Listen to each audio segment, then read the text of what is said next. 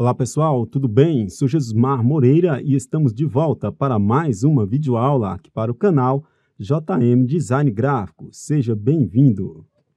Muito bem pessoal, na aula de hoje nós vamos estar fazendo a separação de cores dessa imagem desse Homem-Aranha que você está vendo aqui na tela. Essa imagem foi vetorizada na aula passada, então é, se você não vetorizou a imagem, você precisa dela vetorizada, tá? Então, volta lá na aula passada, aprenda a vetorizar a imagem, lá assista o vídeo, e aí você vetoriza e depois você vem e faz a aula aqui comigo. O link está aí na descrição do vídeo, tá legal? E se você ainda não é inscrito no canal, aproveita a oportunidade e inscreva-se aí agora. Ative o sininho receber notificações que você será avisado toda vez que eu postar um novo vídeo. É assim você não perderá as nossas videoaulas.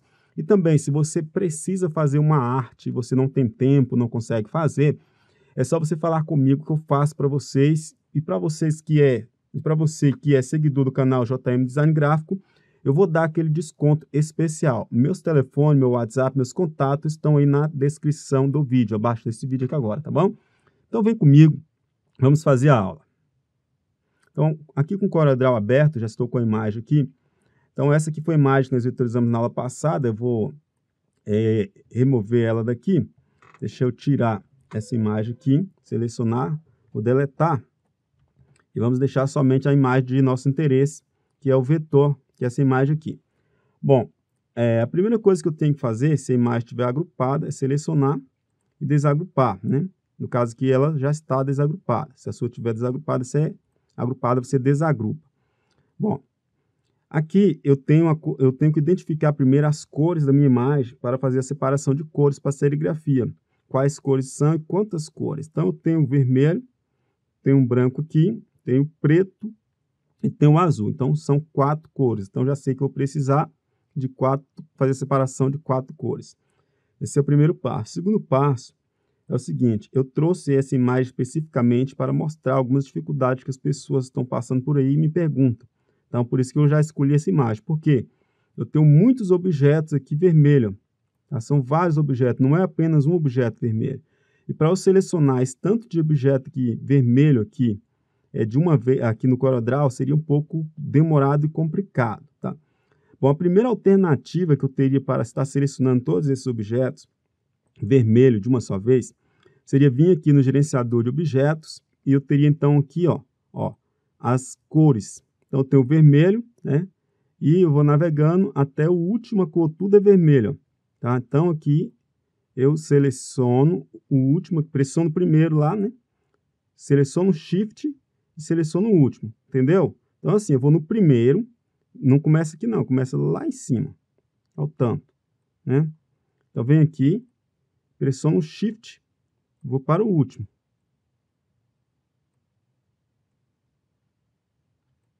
Seleciono aqui. Então, todos os vermelhos estão selecionados, tá?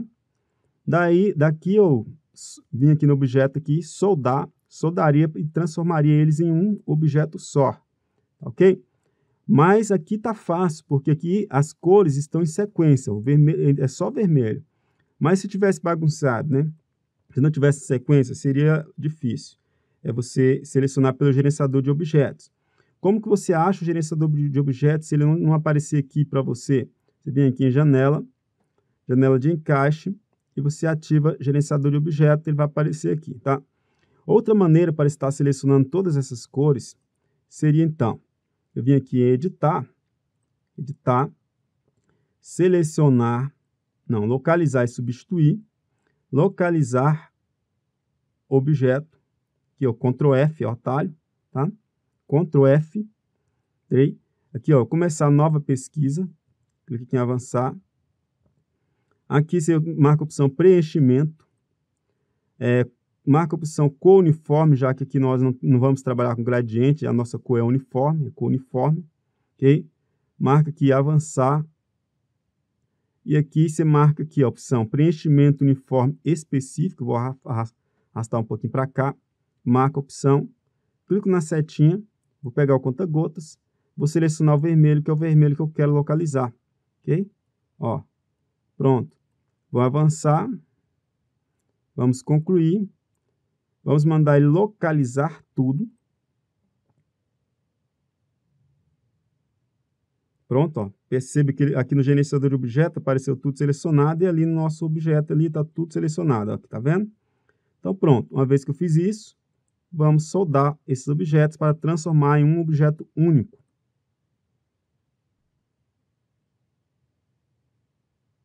Olha só, então, aquele monte de objeto vermelho transformar em apenas um. Aqui no gerenciador de objetos, pode ver, eu tenho só um objeto vermelho. Então, agora ficou fácil, tá? Bom, é, nem, nem é, não são em todas as imagens que você vai precisar fazer esse processo. Eu só escolhi essa imagem justamente pela grande quantidade de vermelho, de objetos vermelhos, para ensinar você a sair dessa peleja, dessa dificuldade, para você não é, ficar quebrando a cabeça. Pronto, então agora eu já sei que meu objeto vermelho está aqui, é um só. Está fácil agora trabalhar e selecionar as cores. Bom, então vamos agora ao primeiro passo. Tem que fazer aqui para na separação de cores de fato, vai começar agora. Vamos pegar a ferramenta elipse e vamos fazer os marcadores. Vou, vou criar o meu primeiro marcador, será um círculo aqui, tá? Ok? Vou pegar a ferramenta, aqui nas caixas, na ferramenta de desenho, pego ferramenta linha, de dois pontos. A partir desse ponto aqui, ó, eu clico aqui, ó, vou pressionar a tecla Shift, eu arrasto fazendo uma linha reta. Faça outra linha reta aqui. Ok. Pega a ferramenta de seleção, seleciono os dois objetos, pressiono a letra E e a letra C para centralizar eles. Ctrl G para agrupar. Pronto, está tudo agrupado. Ctrl D de dado para duplicar. Então vamos lá, Ctrl D duplicou. Vou pegar essa cópia, vou arrastar alinhado para cá. Para alinhar com essa, é só você pressionar a tecla Shift. Né? Deixa eu... Vamos fazer assim, eu só arrasto e pronto. Tá? Fica mais, menos complicado. Coloquei aqui, vou selecionar os dois, os dois assim. Pressiono a letra T, T de tatu, para alinhar pelo topo. Tá? Ok.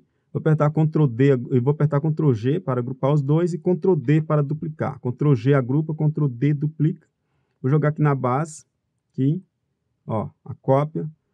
Vou pressionar a tecla Shift para selecionar os, os quatro objetos juntos. Estão selecionados. Ctrl G para agrupar eles. Letra P, P de pato, para jogar eles na página. Vai ficar tudo centralizado, bonitinho. Ok. Pronto. É, certifique de, de, que o seu desenho do Homem-Aranha esteja no centro da folha e não, não, não fique muito próximo das bordas, tá? Ok. Agora, então, vamos separar as, é, as cores. Então, eu vou escolher o vermelho, são quatro cores nós descobrimos, né? Tem quatro cores. Então, vou vir aqui em uma página, tem página 1, clicar com o botão direito, vou duplicar a página, tá? Então, eu vou marcar a opção é, após página selecionada e a opção de baixo aqui, copiar camada e seu conteúdo, ok? Vou para a página 2, repetir o processo, duplicar, mesma coisa, duplicar, tá? Não esqueça de marcar essa opção de baixo aqui, tá, pessoal? Não esqueça dessa. Tá ok. Pronto. Vamos para a página 1. Vou clicar com o botão direito na página 1, eu vou renomear. E aqui será a cor vermelha. Na página 1, vou deixar a cor vermelha. Então, será o vermelho. Ok. Vou para a página 2. Na página 2, vou colocar o azul. Então, vamos lá, renomear. Será o azul. Página 3, vou colocar o preto.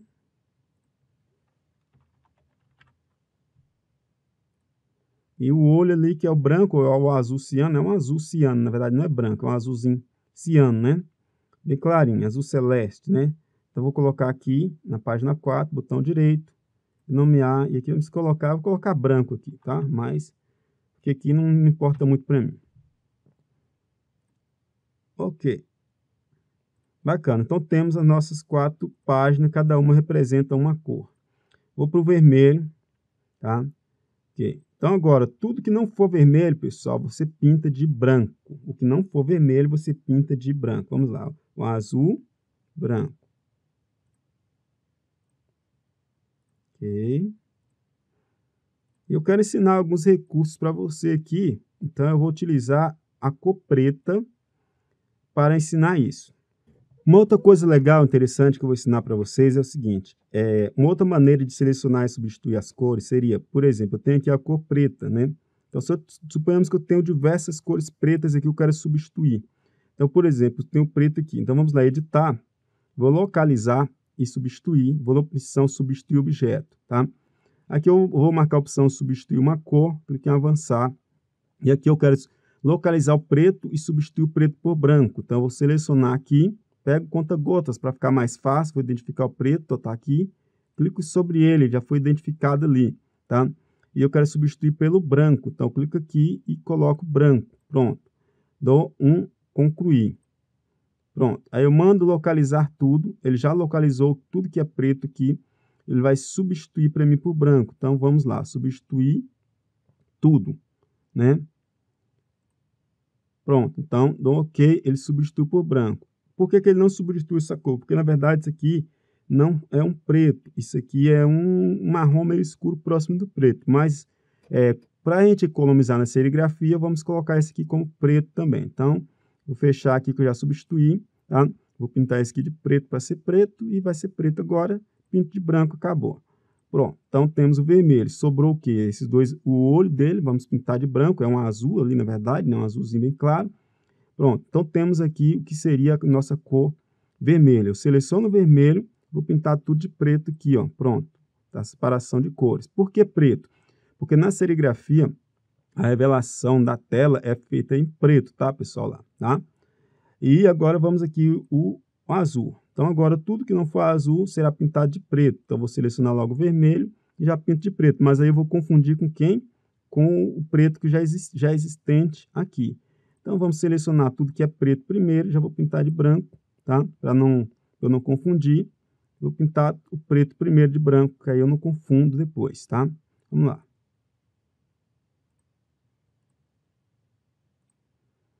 Ok. Vamos pegar o vermelho também, pinta de branco. Pronto. E o olho aqui pinta de branco. Sobrou o azul. Então, azul pinta de preto.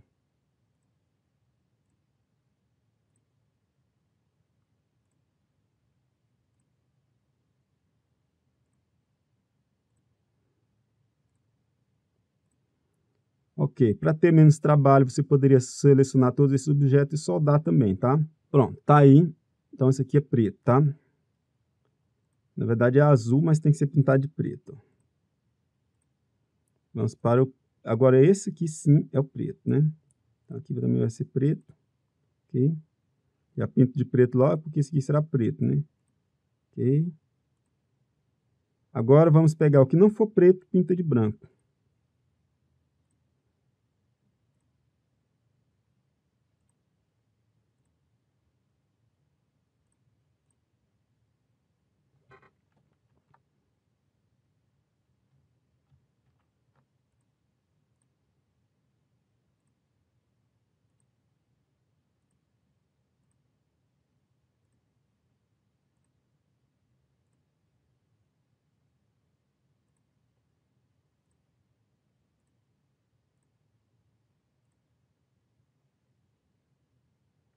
Pronto, o restante é preto, tá, pessoal? Tudo aqui agora é preto. Ok. Então, aqui é já está preto, não preciso pintar mais de preto, né? Então, agora sobrou quem? Sobrou aqui só esse objeto aqui. Então, aqui é só esse objeto pequeno aqui que eu preciso pintar de preto. Né? Então, vou selecionar primeiramente esses dois objetos para pintar eles de preto. Ó, Vou pintar os dois de preto. Um macete para você não perder tempo aqui, já que é só dois objetos. Vou dar um Ctrl X, eu vou recortar esse objeto. Alguns macetes para a gente utilizar, tá vendo? Então, esse objeto não está mais no lugar. Então, seleciono o resto dos objetos que estão aqui, com exceção desses objetos aqui, eu vou até bloquear eles, ó. Com exceção das marcas, e seleciono tudo. Vamos pintar tudo de branco. Ó, tem tudo de branco. E agora eu vou dar um Ctrl V para colar o objeto que eu tinha copiado. Não se preocupe porque ele não vai sair do lugar, ele vai ser colado exatamente onde ele estava, então não tem erro, tá? Então só venho aqui, pinto de preto, né? Com isso eu tenho menos trabalho de ficar selecionando um monte de objeto, só para selecionar um pequenininho desse. Então pronto, a separação de cores já está pronta. Se eu vier na página, não está aqui, na 2 está aqui, na 3 está aqui, E a 4 está aqui, todas as cores, tá? Bom, agora isso aqui vai depender lá como é que o pessoal vai te pedir formato. Não sei se eles vão te pedir em Corel, não sei se eles vão te pedir lá em PDF, aí você vai salvar no formato que eles te pedirem. Se ele te pedir em CorelDRAW, basta vir aqui em Arquivo, salvar como. Aí você vai colocar aqui Homem-Aranha, separação de cores. Aí põe em Corel. Salva na versão inferior aqui, você vai na X5, que eu acho que é uma das mais inferiores. Mas por via das dúvidas, entre em contato com o pessoal que vai fazer pergunta qual o formato, que ele vai te dizer como ele quer. A maioria das pessoas que eu trabalho, a maioria pede em core, né? Então, vai depender muito. É bom ter essa comunicação prévia, tá? Vamos fazer a pasta. Eu vou colocar serigrafia. Vamos abrir a pasta. E eu salvo, tá? Pronto, tem esse objeto salvo com as quatro páginas. Mas aí o camarada fala, ah, eu não trabalho com Core, não, manda em PDF. Você vem aqui, ó, publicar em PDF, tá? Vou colocar aqui a pré-definição X1A, e aqui só vou dar só um salvar e pronto. Não preciso mexer em nenhuma outra configuração, tá? É só salvar. Olha aqui a guarda, ele está salvando, tá? Pronto, já salvou. Vamos, vamos procurar esse arquivo lá na pasta para ver está tudo certo lá no PDF. Aqui na pastinha estão os dois arquivos, em Corel e em PDF. O legal é você sempre mandar duas opções. Manda os dois, manda Corel e PDF lá para o seu cliente, que aí depois ele tem mais opções. Né? Então, vou abrir, pronto. Então, abrir está aqui, ó, o objeto, os objetos, tá? Tá de preto, tá aqui o vermelho. Basta você vir aqui, você tem aqui, ó, tá? Então, tá tudo separadinho, com as marcas, ó, as marcas, ó, vermelho. Tá aqui a folha 2, ó, folha 1, folha 2, folha 3, folha 4, né? Tudo separadinho, bonitinho. E agora é só você imprimir aí e fazer a sua serigrafia. Então é isso aí, pessoal. Espero que vocês gostem. Espero que vocês tenham gostado. Se vocês gostaram, não esqueça de dar o seu like. Um forte abraço e até a próxima videoaula. Fiquem todos com Deus. Tchau!